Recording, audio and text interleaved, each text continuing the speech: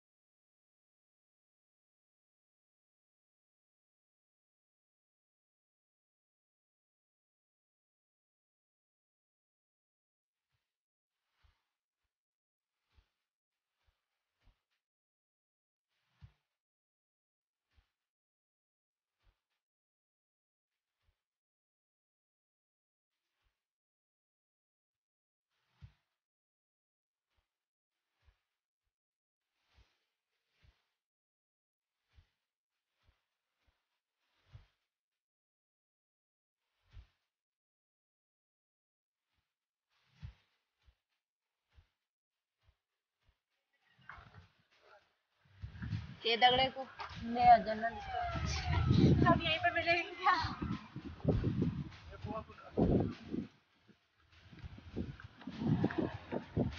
ये देखिए दोस्तों कितना अच्छा मौसम हो रखा है। एकदम मस्त बोले तो। और ये तो कुछ भी नहीं जब हम ताड़केश्वर में गए ना इतना अच्छा मौसम हो रखा था कि मन कर रहा था वहीं रह ले बट क्या करें देर भी हो रही थी। और अब सड़ रहे हैं हम इस दिल्ली के गर्मी में। सच में मतलब गाँव का मौसम देख के तो दिल्ली आने का बिल्कुल भी मन नहीं कर रहा था, बिल्कुल भी नहीं। बट क्या करें?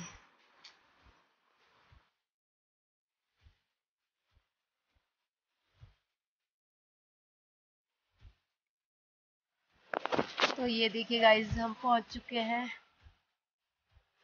चकुलिया खाल में और यहाँ से हम जाएँगे तारकेश्वर महादेव के मंदिर में। यहाँ से पाँच किलोमीटर है और बाकी लोग, बहुत सारे लोग आ रखे हैं यहाँ। और मौसम देखिए कितना मस्त हो गया एकदम कोहरा ही कोहरा।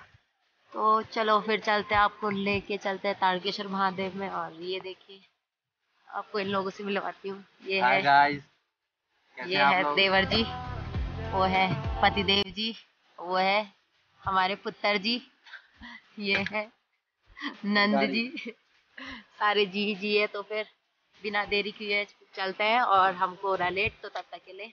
टाटा बाय बाय चलो।